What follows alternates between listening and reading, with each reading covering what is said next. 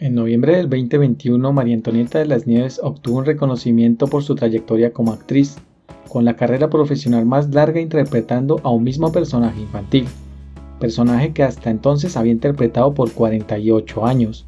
Y si bien esto podría parecer un gran logro, ¿realmente es así? ¿O solo quiere decir que esta actriz se encasilló tanto en un mismo personaje que fue lo único que pudo hacer durante tanto tiempo?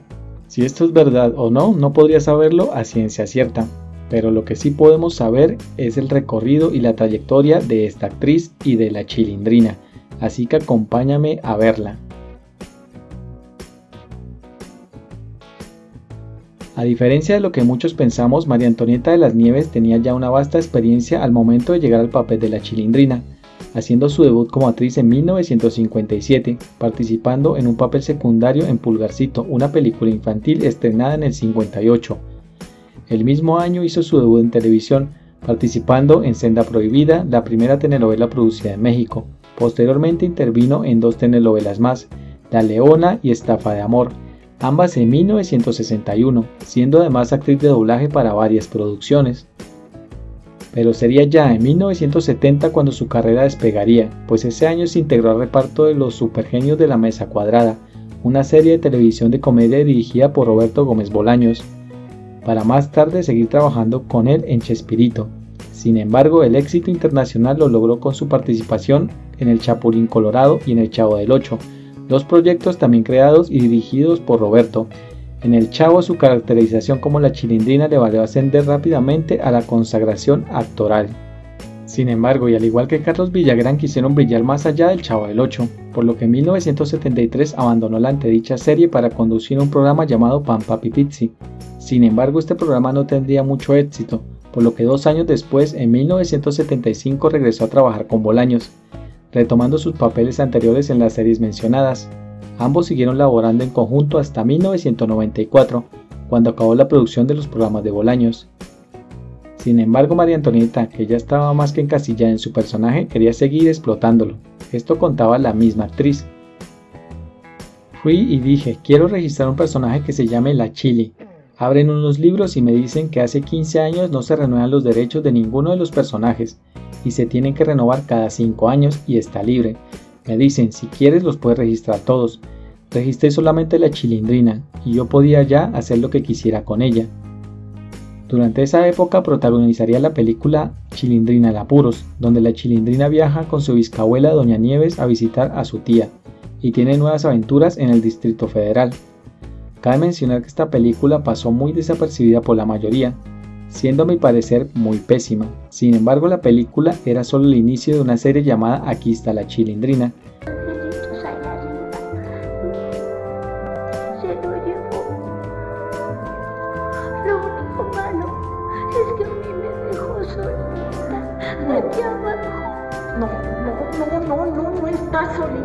Mientras estés aquí en el convento, yo seré tu amiga.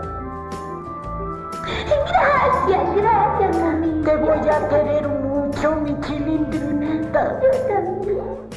Sitcom realizada por Televisa entre 94 y 95. Serie que seguía los hechos de la película. La producción fue dirigida por Rubén Aguirre, conocido como el profesor Girafales, la serie, al igual que la película, no tuvo mucho éxito y solo se hicieron 16 capítulos antes de ser cancelada.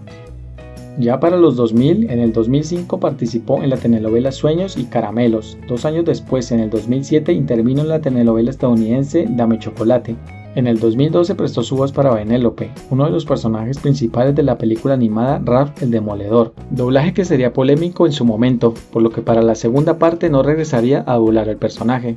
Ya para octubre de 2017 grabó Antes de 11 estaba la chilindrina en Stranger Things, un cortometraje que realizó como la chilindrina en colaboración para la plataforma Netflix, con la finalidad de promocionar en Latinoamérica la segunda temporada de la serie de televisión estadounidense Stranger Things. En torno a los derechos del personaje, sus acciones provocaron una lucha legal de varios años con Bolaños, así que también su inminente distanciamiento profesional y la ruptura de su amistad. El de María Antonieta de las Nieves. Ese me duele un poco más porque está copiando a, Carlos, eh, mal, inducida por alguien. También la he dejado, no solo le he dejado actuar como chilindrina, sino película, los apuros de la no me acuerdo cómo se llamaba, pero también con la chilindrina. Y lo mismito, me dijeron, das tu autorización, adelante. ¿Cuánto quieres cobrar? Nada, nomás que en la pantalla salga. Dije, ah, muy bien. Y, y ella también lo aceptó, dijo, ah, claro, no hay problema.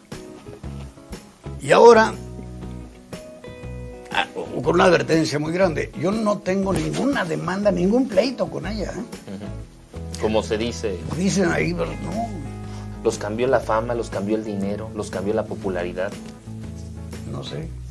Estas peleas derivaron en la ausencia de la chilindrina en la serie animada El Chavo del 8, emitida en el año 2006. Tras la muerte de Roberto Gómez Bolaños el 28 de noviembre de 2014 se creía que la chilindrina llegaría a la serie animada por fin, sin embargo, la serie animada se canceló el 6 de junio de ese mismo año, por lo cual la llegada de la chilindrina a la serie animada ya no fue posible. Cabe destacar que el episodio piloto El Chavo del Ocho animado, hecho en 2001, sí cuenta con la aparición de la chilindrina, y su voz fue interpretada en dicho episodio oculto por Liliana Barba. En una entrevista en el 2021 declaró que antes de la muerte de Roberto en 2014 intentó acercarse a él para hacer las paces, pero nunca se lo permitieron y jamás pudieron volver a hablarse el uno al otro. Durante los últimos años María Antonieta ha sido entrevistada en varias ocasiones en diferentes programas, en donde ha hablado y ha armado varias polémicas revelando diferentes cosas que llegaron a suceder con los actores de la vecindad. Pero ahora me interesa saber tu opinión. ¿Crees que esta actriz no pudo hacer nada más relevante en su carrera que la chilindrina? Déjame tu comentario, los leo. Y si el video les gustó no se olviden de compartirlo, darle me gusta y suscribirse. Muchas gracias.